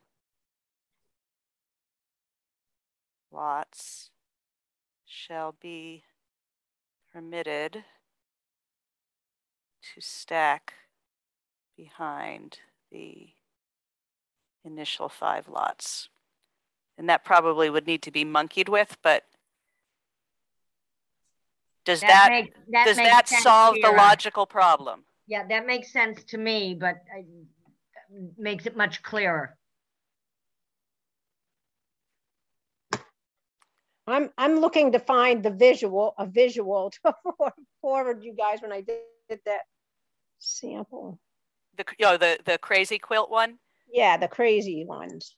Right, because we don't want that. We know we don't want that. So, So, so my question is logically, does this new provision, for the purposes of these regulations, five lots or fewer arranged along a shared driveway shall not be considered interior lots. However, no additional lots shall be permitted to stack behind the initial five lots. Does that solve the Sure. logical problem? That, that makes it clear to me, but, uh, you know, now it's much clearer. Yeah, I'm, I'm in agreement. It's clear. Can't say that I'm in support of that, but yeah, it makes it clear. Well, they won't be able to stack behind. And, Yep. and that's what we don't want, I guess. Yeah. Right, well, you- well, the other thing is you basically, you can't have a shared driveway off a shared driveway. Yes, very, yeah, that states it even better, Janet. Thank you. Yeah, that, that's really good, Janet. And did we already address that in that section? I'm scrolling Yeah, back down Where's now, that so- word rear? Where's that word rear? Because we had that somewhere unless we removed it. Yeah, it, it was just there. Yeah, We might have removed rear because we were referring to the same thing in three different ways. Yeah. So I don't- we I don't might, we remember. might have taken it out. I, I, I don't remember for certain. Yeah, neither do I. Um, Yeah. but that is ringing a bit of a bell. Yeah, I just saw it in there when, when you had the interior section up. Oh, well, I'll go back up.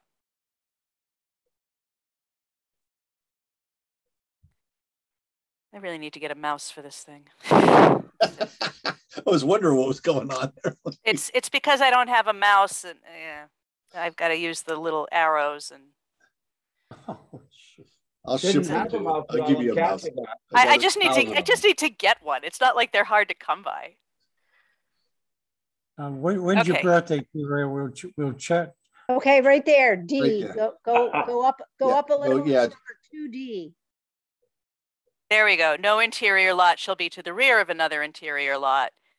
But we're not considering, so that allows for both the fact that we're saying that these lot, the lots shall share the driveways, they're not considered interior lots.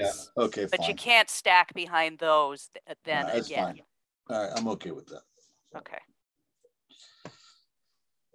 What's your gut feeling, Janet? Does that solve the logical dilemma? Well, And as long as it says under shared driveways that you can't have a shared driveway off a shared driveway. You you right, may, so let's, you we may might already have that.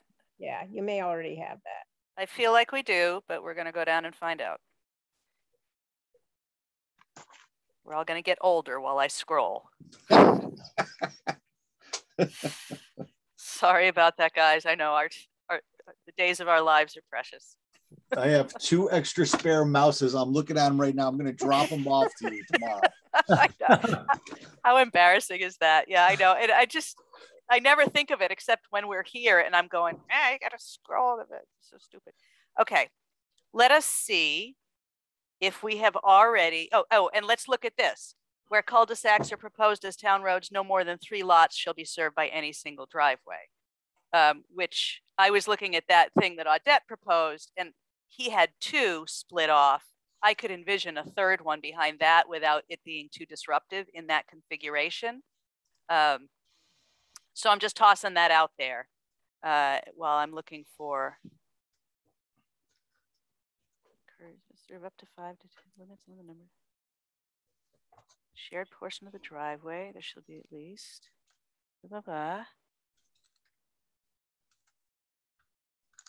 It looks like we do not have a stipulation that no shared drive can come off another shared drive. So let's add Yeah, that. I, I didn't think, it didn't sound familiar to me, Okay. so I'm glad it came up. Yep. So let's see, where does it make sense to put that? I think it makes sense to put it here.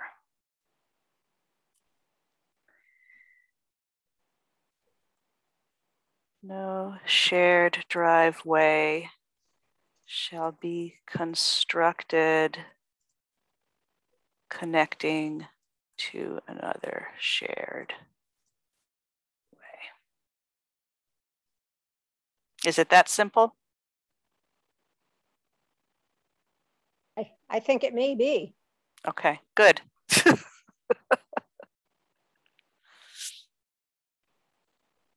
All right, so now let's go back up to where cul-de-sacs are proposed as town roads, no more than three lots shall be served by any single driveway on the turnaround portion. Does that seem reasonable? Or desirable?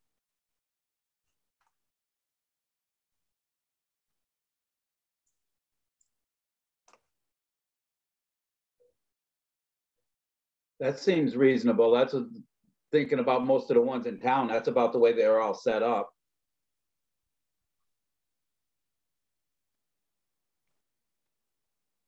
Anybody else? Thoughts? So it seems reasonable. It also seems to me that it would have the exact opposite effect of the original language that we're looking at. And why do you say that? Because it seemed, again, this was my hypothesis, that the intent was to minimize the number of driveways. Whereas this could increase the number of driveways. Gotcha.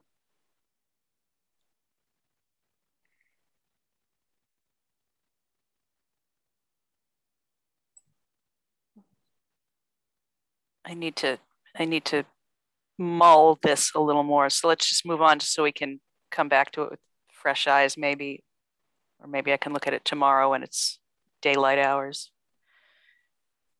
Uh, okay, here we have, and now this is these are the provisions for shared drives that we're moving into for the time being. Uh, mm, mm, mm. All shared driveways with access slopes of 10% or greater shall be paved to a minimum width. Okay, so we've already addressed that. Janet said that that should go up to the section for general driveway provisions. Uh, there is some typos though in that typical cross section. It's a little bit odd, the pavement cross section. Um, pavements have three structures, like from the bottom up, you have your sub base, then on top of that, you have your base. Then on top of that, you have your wearing surface. So the so in this analysis here, so the three inches is the wearing surface. So underneath that, you would probably have number two should probably be four inches of processed gravel base. So uh, let's let's go let's go point by point. Okay. Six six inches of bank run gravel or as required by the director of public works. Are you saying that one's okay? Probably, but I would say sub base, bank run gravel sub base, because that's the most bottom. Okay. Uh, That's the coarsest material with the largest stone.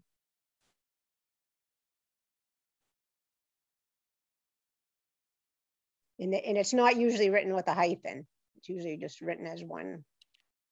oh, that's terrible. That looks horrible. Welcome to construction.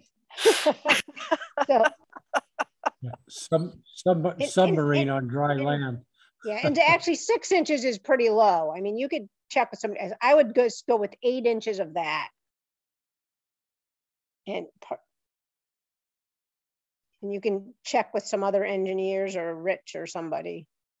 Well, we can't check with Rich anymore. Okay. Tomorrow at noon, I believe, is his last moment with us. Really? Okay. Yes, sir. No. Huh. Okay, so So- item t- item two. Item two should probably be four inches of processed gravel base.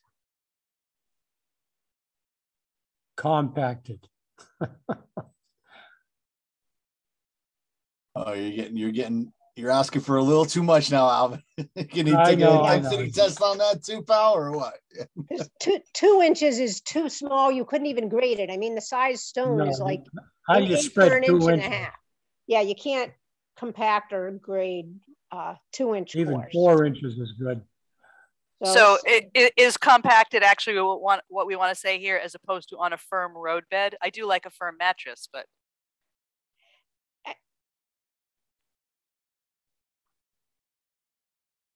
You could No, say no Um, one, well, the no one's compact- the- compacting that. Well, the no one- You could say- compaction, if you want to could really get into, firm- s- You could say firm or compact or, or compacted road bed. Mechanically road bed, compacted. I mean, I mean, yeah, because technically it should be compacted to ninety-five percent of the optimum density. So I don't know how technical you want to get. Yeah, I know well, we want to be as accurate as possible. I mean, Well, I want to deal with reality. It's not like I build shared driveways every single day of my life. Are- are- Is somebody really bringing a roller over there and compacting that? I mean, are we asking for something that's? I, I Janet, think, yes, this is this is a sixteen foot wide shared driveway. Yeah. Yes, yes. Yeah, they- Fine. And some of the, okay, some of the new rollers, Brian, you probably know, have an automatic compacting drum on it. So when going down these roads, they Yeah. compact it as they. That's totally fine. I get, I don't, like I said, I, I'm not a person that builds shared driveways, so I don't, I don't know, right? so all right, so that's let, that's uh, Roman numeral two. What's next, Janet? The, the number three is correct. Okay. And is that it? Y- Yes, that's your Okay. three levels. You start off with your sub base, then you put the, and you compact that, then you put the base, which is finer gravel, and then you pave on top of that. So this right here, if you have eight inches and four inches, so you have twelve inches of solid, good gravel before you put your pavement on. Okay, Ah, And, All and for roads, it's even thicker, but for a shared driveway, I, I think that seems reasonable. Okay. I want to say that I took, that I stole all this straight from Killingly, so it's not like I was basing it on my per, my personal knowledge. And then the two was definitely a typo for sure. Okay. Uh, all right, so that item now looks okay?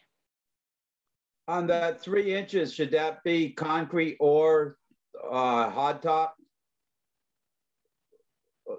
Or asphalt? I, I think you, you ha- give them a choice. You have bituminous concrete or an equivalent material. So somebody could put in concrete, somebody could in, put in potentially pavers, some kind of low impact development, you know, Mhm. pervious concrete. Um, Or even three quarter broken stone with stone dust. Yeah, I like, I like equivalent material. I think that's enough option. Yeah. That's good. Okay. So I, I mean, I can put That's- that's- examples. No, don't, don't bother with that. That's. that's Okay. Sure. Uh, okay, uh, anybody have any other comments here? We've added, uh, the stipulation, no shared driveway shall be constructed connecting to another shared driveway. Uh. Janet, does the sixteen foot width make sense with the fifty foot access strip? To me, it does. Okay, I just, I can't picture it practically, so I just refer to you because you know. Well, I think sixteen feet gives you room for like underground utilities on one side, gives you room for some drainage swales, some grading. Uh, um, Yeah, no, I'm, I'm, I, I, yeah, I get that, but I'm talking about the G with the minimum width of fifty feet for an access strip. I'm assuming the access strip is the, the approach, the, Entrance. the entrance to it, Yeah. right? No, the access strip is the width. It's like the right of way. It's a- the equivalent of a road right of way. Oh. I totally misread that then. Let me Seems see. kind of wide.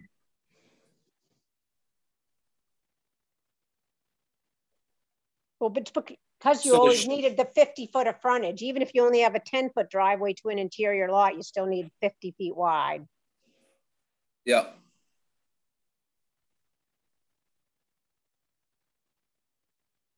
So we're good with that as is? We're amending? We're, we're, no, well. Janet, do you feel we should specify what the what the approach is then for the access into the shared drive? Or What- just leave it you up to them to design it? What do you mean by approach? Off a main road. Yeah, so if it's sixteen foot pavement, do we want to make them uh, 16, 16 feet, right, of traveled traveled road base? Do we want to splay that out at the at the road where it where it intersects with the public road Ye- and have that? So do we want to specify that as being wider in these regs, or just let them design that? you know, Pretty should it be I a think 30 all- Yeah, it could be, you could specify it that it be thirty feet where it meets the public road and taper in. Or just let the engineers design it. I mean, everybody is gonna flare it out with radiuses. So that trucks can turn in, Yeah. um, but you could specify thirty feet. I, I think we want to tear in this, and, and I, I'll leave it up to the other commissioners, but I think that if we're going into this detail, I think that we specify what we want and we make it a minimum of 30, 30 foot approach or just my opinion. So, so help me out with, with the actual thing we want to say. What, what is the sentence? That, that the Um, paved ap, the paved apron be thirty feet wide at the road. Something like that. Yeah. So we're actually, so it's not actually amending G, it's adding that the apron shall be thirty feet wide where it connects to the road. Yes. Okay. That's my so, vote. uh, Would that be flared, Dave?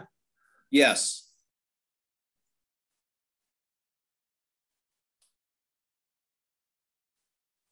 And it still gives, so Janet, in- in my rationale, it gives them still 20 feet for utilities to be off that pavement, you know, say 10 feet on each side, however they want to do it, but it, it's still, it's not impervious the whole way and still gives access to uh, conduits or, you know, what have you.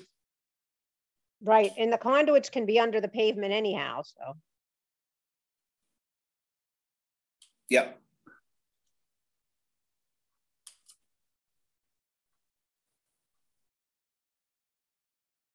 Okay, so I'll add that underneath probably. All right, so we've got, it's eight fifty-two, so we won't, uh, well, I suppose we can take a quick look. There are no comments on monuments and there's no comments on special structures. And there's one little comment on um, the difference between private roads and private ways that Marla raises, uh, which I, I, I have to let you guys know, I added into the definitions after, this is why I like to have the definitions at the end because you discover things as you go. Um, after Marla raised this point, I went into the definitions after we had already discussed them and added separate definitions for private roads and private ways because she's exactly right. Um, they are related but different. Um, her real comment here was that previously that had said private ways, I believe, and I corrected it to private roads, but I'm still suggesting that the street sign would say that it is a private way. Uh, That one, I, I mean, we can call it a private way or a private road. The point is that we're clearly labeling that the town doesn't own it. It's owned by the people who live on it. Uh, So the, so Tyra on that, my only comment is the town still approves the, the naming convention of those private roads, right? Somewhere? You know, it doesn't actually make that crystal clear, but that's a good additional comment. So let me add under here.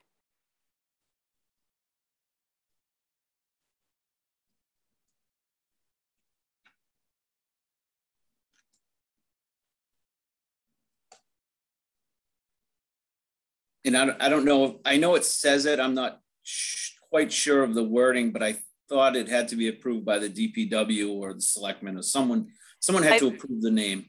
Yeah, and I think that's in the appendices. Um, under street design standards, I'll, I'll double check, but I'm, I'm pretty sure that that is in there. Uh, street improvements. Yeah, because it's obviously not here. All right, and I think we looked at the street trees stuff pretty well, but you know what? Let's leave street trees for next time because that actually relates directly to sidewalks. And that's another big topic and we're at six minutes of.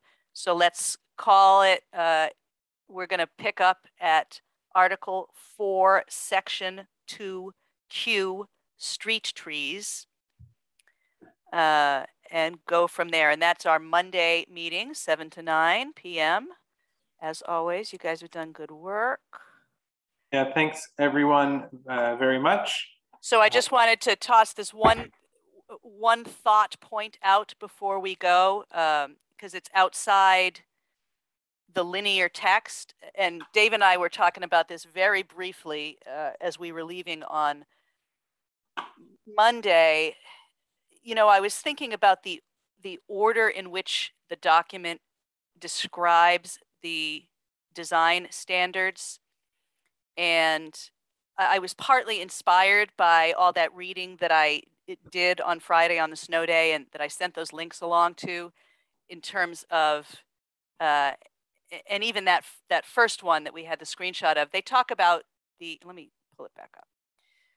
Um, the order of design, right? Yes, I like those. Right, and I like this too, uh, but the way, and he, he refers to it in here, the author, that most subdivision regulations sort of talk about streets first and uh, boundary lines first, and then they get to, and we do this too. Our stuff on conservation subdivisions is the one of the very last things. So mm. I'm kind of of the opinion that if you want to imply your priorities, you lead with them.